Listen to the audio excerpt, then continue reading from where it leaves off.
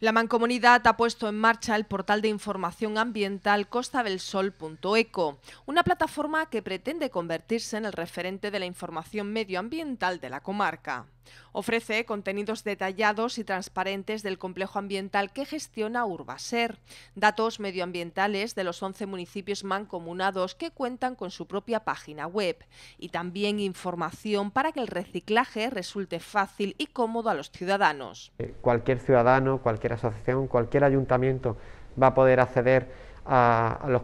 contenidos en cuanto a gestión de residuos, pero también a contenidos de interés medioambiental.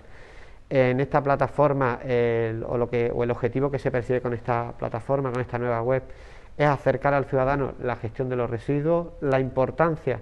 de seguir incentivando la conciencia social sobre el cuidado del medio ambiente. El complejo ambiental Costa del Sol ha sido pionero en crear un departamento de objetos perdidos y a través de esta plataforma es posible cursar la solicitud online para poder localizarlos. Otro de los proyectos por los que ha apostado la mancomunidad es la ampliación en los próximos meses del aula medioambiental que trabaja con los estudiantes de la comarca. El aula se va a ver totalmente renovada, eh, de forma que sea más interactiva, más actualizada a los tiempos en los que estamos, donde eh, la tecnología es el eje vertebrador de cualquier gestión por parte de los ciudadanos y mucho más por parte de las nuevas generaciones